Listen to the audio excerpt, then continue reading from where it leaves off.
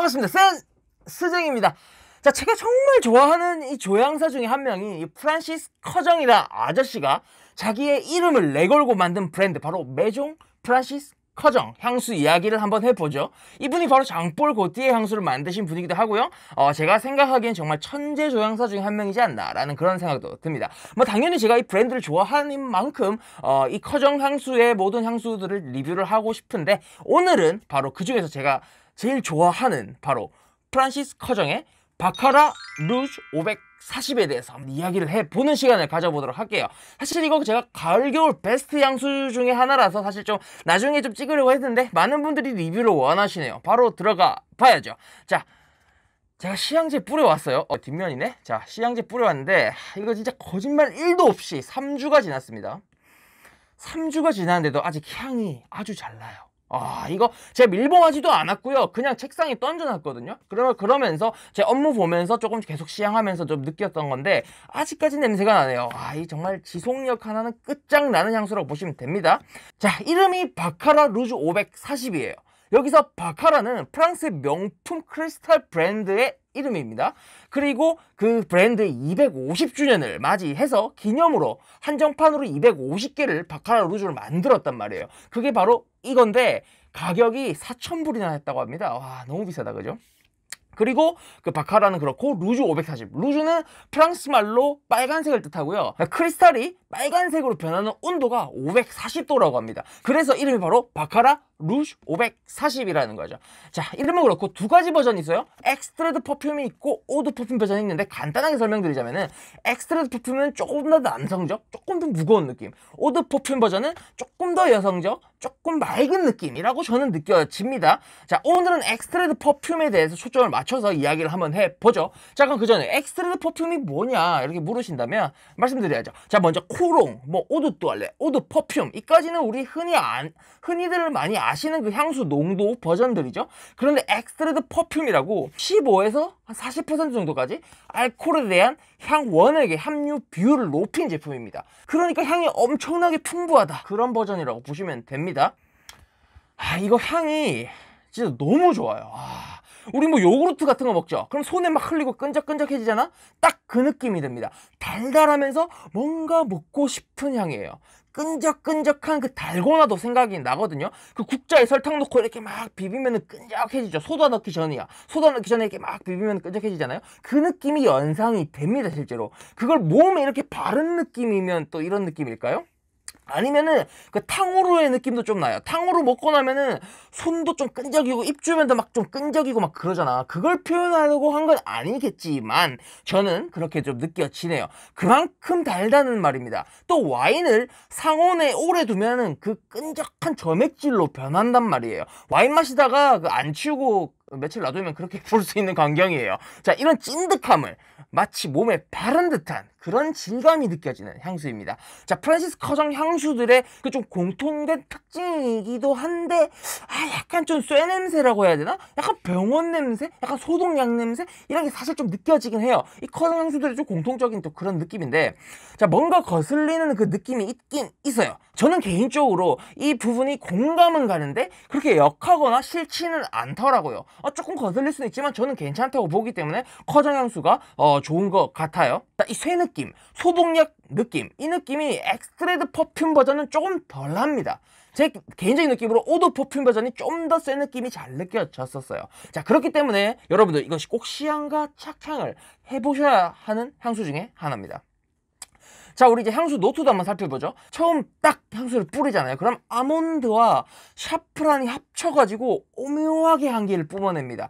진짜 오묘해요. 샤프란은 꽃이죠? 그 꽃인데 아, 달콤 쌉싸름한 느낌, 약간 레더리한 느낌, 그러니까, 그러니까 뭐, 그 가죽 느낌이 부드럽게 나는 그런 향기로운 꽃이라고 보시면 되고요. 그런 느낌과 아몬드가 약간 섞여 있다.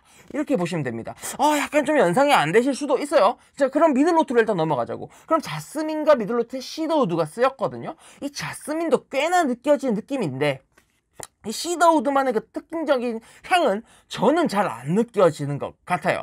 그러니까 블렌딩을 기가 막히게 했다는 소리죠. 시향하시잖아요. 그러면은 국내에서 막 자기들은 막 niche 향수라고 파는 향수들을 시향하잖아. 그럼 진짜 어이가 없어. 레벨 차이 확 느껴져요.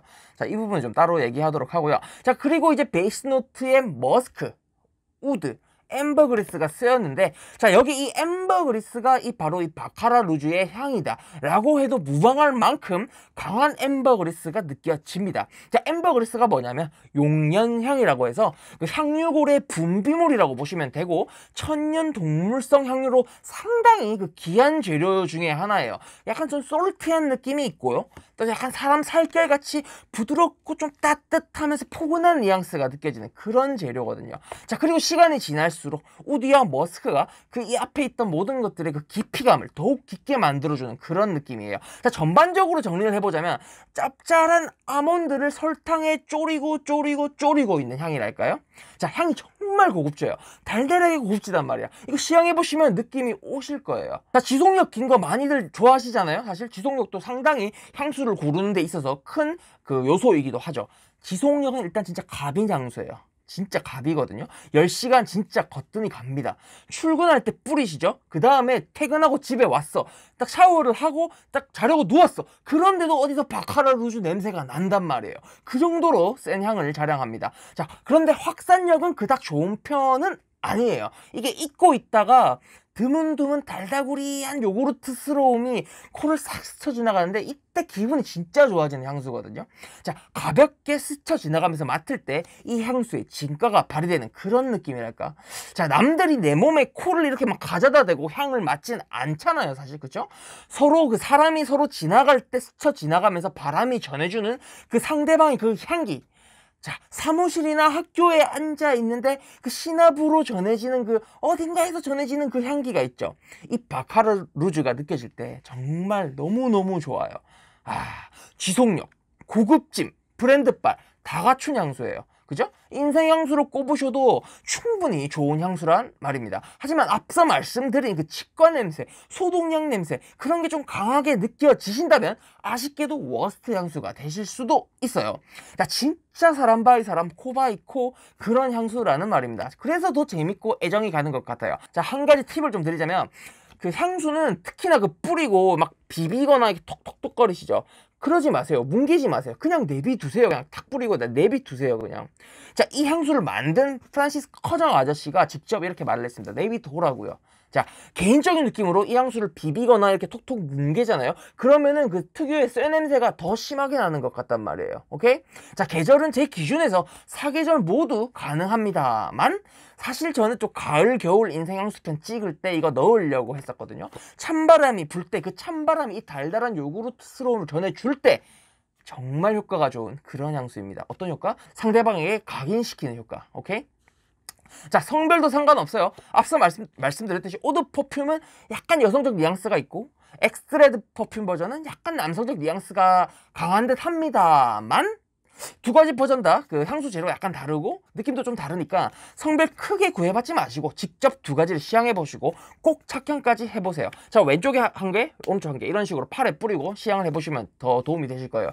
이런 유니크하고 특징성이 강한 향수를 구매할 예정이시라면 좀 긴 시간을 두고 향수 트레이를 잘 살펴보셔야 합니다 그래야 실패할 확률이 낮아져요.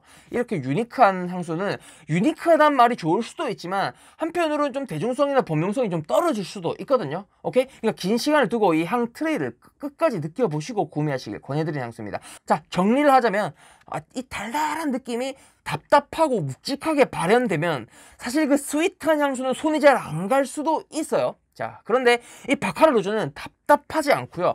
고급지면서 은은하게 스윗함을 뿜어내는 그런 향수입니다. 가격이 약간 마음에 들진 않지만 하나 들이시면 충분한 만족감을 주는 그런 향수 중에 하나이기도 하다고 생각합니다. 흔하지도 않고요. 상대방에게 각인시키기 정말 좋은 향 느낌이거든요. 자, 나만의 향수를 찾으신다. 그럼 일단 Francis Kurkdjian의 Baccarat Rouge 540 eau de parfum 버전과 ex, extrait de parfum 두 가지 딱 시향해 보시고 고르셔도 어, 저는 이 향수를 어, 추천드리고 싶은 그런 느낌입니다. 오케이? 감사합니다. 센 스쟁이었습니다.